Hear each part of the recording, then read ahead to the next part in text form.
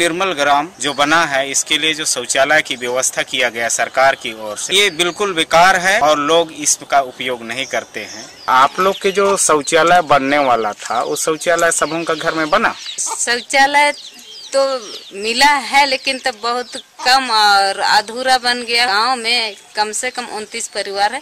उनतीस परिवार में सात आठ घर में बना हुआ है और वो भी दरवाज़ा भी नहीं है ढक्कन भी नहीं है कुछ नहीं है। इसमें गुटुहातू डेरांग बेहरा टोली इत्यादि गाँवों का सर्वे लिया गया। उसमें आठ नौ परिवार में ही बना है। कितना बीपीएल परिवार है? करीब करीब पंचानबे है। सबके घर में बनना था? सबके घर में बनना था आधा ही बना है। कितना साल पहले बना था? वही दो तीन साल पहले।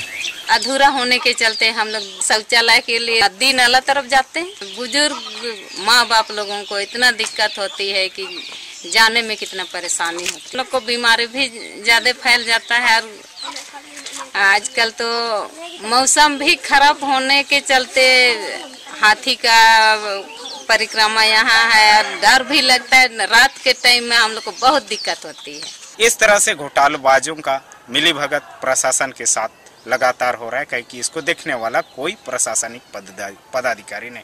मैं रेजन गुड़िया, खूटी जिला से इंडिया अनहट के लिए